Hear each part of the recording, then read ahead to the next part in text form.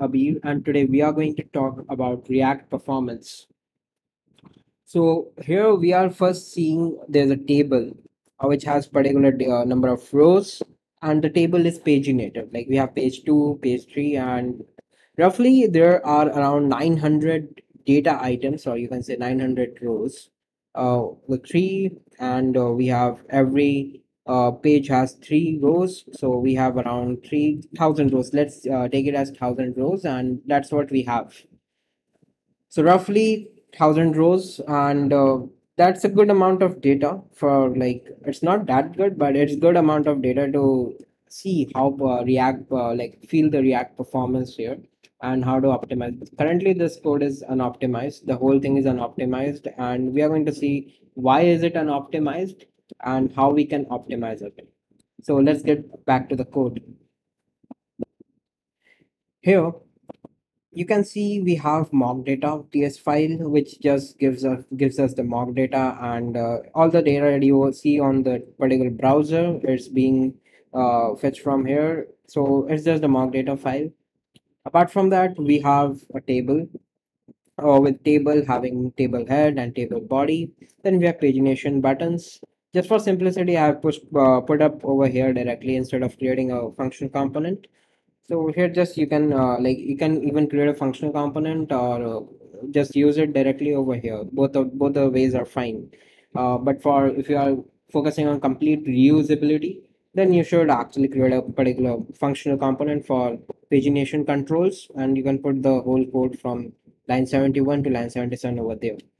But uh, uh, the the focus is today uh, for the performance. So first of all we have to focus where that we are getting the data. So use table. So we are getting the data from use table, right? So what happens in use table? It's a hook which actually gets the data uh, from the mock data file and it combines it, uh, calculates the things and um, give you headers and give you rows along with current page and pagination items. So here, if you see, we have two things. Currently, we are running this all rows unoptimized. And one more code over, you can see the code snippet. I just uh, uncommented, and here you can see all rows optimized. So here, the two functions look very similar. All rows optimized and all rows unoptimized. I'll just try to just down a bit and just try to focus a bit over here.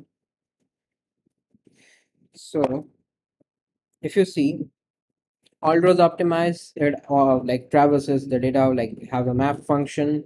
It prints a message all rows running just to make sure that this whole thing is running the function is running and stuff just to show you the performance issues. And here there is nothing like use memo that we are using no, and it's just data right? So what we now uh, see here in the browser is let's go to inspect and let's open the console just reload. So you can see page one of three on it. Fine. Now, if I click again, let's see. Uh, let me just first. Okay, we have this thing. Okay, let's just click again. You see, 954 is again calculated. The row calculation is happening again and again. Particularly, this function is being run. Okay, all rows unoptimized. So I'll make it all rows unoptimized running. And I make I will make this all rows optimized running. And right now we are going to just comment this down and save it. Reload. All rows unoptimized is running. All rows unoptimized. So like this you can see on every page if you click on the page 4 to get on the page 4 is uh, being shown over here that all rows and optimize. So every on every re-render that it's actually calling that particular function, calculating all the rows, which is having like around thousand data items. So that's not worth it. How do we optimize this thing? Because data is not changing. The date size of the data is not changing and everything is same. Just the page index is changing. Uh, with this, we are just moving the array kind of a sliding window algorithms. So nothing much. How do we do it then? So let's see. All rows unoptimized. Let's co- comment this down and see what does the above comment all rows optimized. What does it do? So it uses a hook use memo which is coming from React. package once uh, if you see uh, the use memo what it tries to do is uh, creates a memoized function and here you can see an array array columns and data. What are these variables? Columns are the number of columns the, table headers that you see the id name date of birth and favorite food. These are the columns. And it just maps it. If this if this changes then this should function this then this function should run. Or if the, if the data changes then this function should run. So it's just a memoized function and all the, this whole expensive calculation is just uh like is run on like in initial render and then when the columns or data items or anything in this array particularly changes its value then only this function is again uh, called and it's run back again. So here if you just uh, again you just uncomment this we have commented this down. Let's see. Okay so we have an error over here. And let's fix this out. All rows optimized. So we have all rows optimized. Let's see. Now here 954 954 right? And again if you go see page 2 the thing is not running.